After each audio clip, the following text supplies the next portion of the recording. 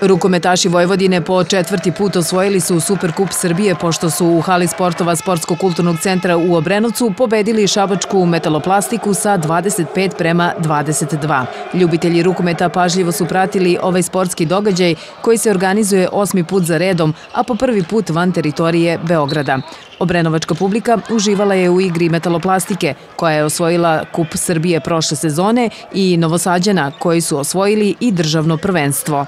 Pre svega to bi Vojvodina fair i korektnoj, Metal Plasti na fair korektnoj borbi, mislim da je bila jedna lepa utakmica. Žao mi što nije bilo više ljudi, s obzirom da smo organizovali, da je Rukometni savez Srbije organizovao u Obrenovcu. Stvarno se nadao da će doći više ljudi da vidi vrhunsku utakmicu. Mislim da smo pružili lep rukomet i mi metaloplastika. Na kraju mislim da je iskustvo i bolja fizička sprema prevagla u našu korist.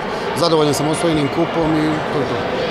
Obrenovac se još jednom pokazao kao dobar domaćin, a u hali sportova naši najbolji rukometaši imali su vrhunske uslove za igru.